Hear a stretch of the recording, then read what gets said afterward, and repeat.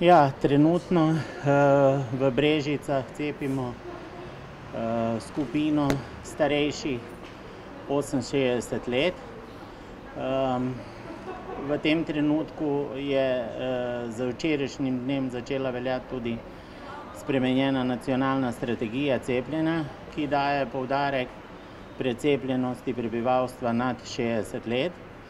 Zato pozivamo vse naše občane, da tudi tiste, ki pač se do zdaj še niso prijavili na cepljenje, da se odločijo za prijavo, nam jo posredujejo na našem eh, portalu, na spletni strani eh, in da precepimo skratka vso populacijo nad 60 let v čim večjem eh, deležu.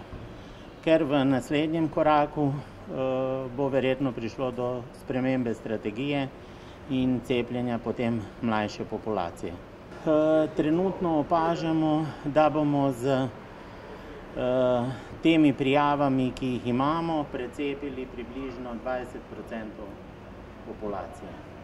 Ja, v preteklih mesecih smo se soočali s tem, da smo mi res dosledno naročali cepivo v skladu s prednostnimi skupinami iz nacionalne strategije eh, in tudi ta naročila dobivali v manjšem obsegu, kot so bila naročena. Eh, temu ustrezno je nizek tudi delež eh, precepljenosti, ki se je zdaj sicer na podlagi zadnjih dveh naročil nekoliko dvignil. Ob tem moram završiti nekatere trditve, ki smo jih bili deležni, da je nizka precepljenost posledica naše dezorganiziranosti oziroma nepripravljenosti na cepljenje.